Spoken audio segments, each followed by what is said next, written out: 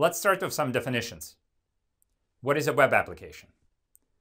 Well, web application exists both logically in SharePoint and as a physical website in IIS.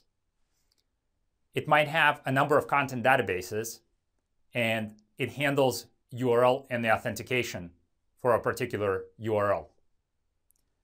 A content database is just a set of tables in SQL, and of course the, the SQL database, where most of the SharePoint content goes, such as sites, lists, documents, document versions, alerts, and so on.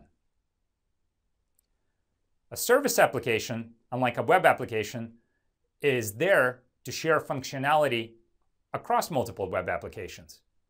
An example of that functionality might be a user profile service application. For example, we don't want user profiles to be um, isolated on one web application or another. And so we'll be sharing the user profiles across multiple web applications. The same goes for managed metadata, or the same goes for search. Of course, sometimes you do want that level of isolation, and certainly we'll learn how we can manage service applications to provide that level of isolation.